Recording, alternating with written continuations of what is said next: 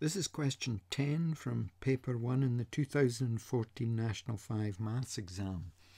We're given a graph, sine graph. It doesn't just come up to 1 and go down to negative 1 as the normal sine graph does. It goes up to 3 and down to negative 3 and you'll notice it's been shifted to the right by 40 degrees. And we're asked to find the values of A and B.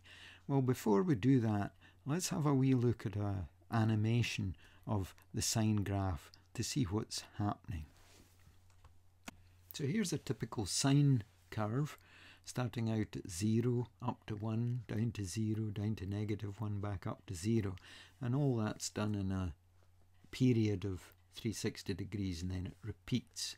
We're going to have a look at the effect of altering this number that's multiplying the sine of x. b in, in this case is just 0 just now, so just ignore that.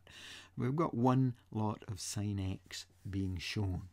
If we increase the value of a, notice what happens to the amplitude. We're now multiplying sine x by 2. We've got an amplitude of 2.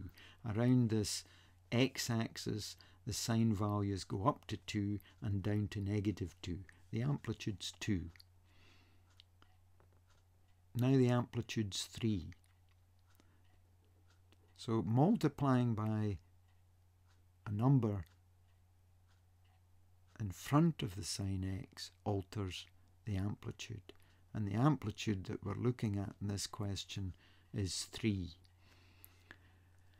Adding a number to the angle x, let's just have a look. There's adding 10, adding 20, adding 30, adding 40, and so on. You notice when we add numbers, the graph moves to the left. When we subtract numbers, there's adding negative 10, that's like subtracting 10, the graph moves to the right.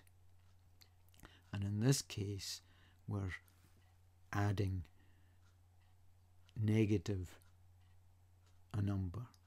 I think negative 40 taking away 40 uh, would produce a graph that's 40 degrees to the right.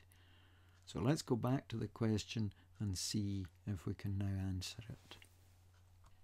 So with an amplitude of A, uh, an amplitude of 3, we've got a value for A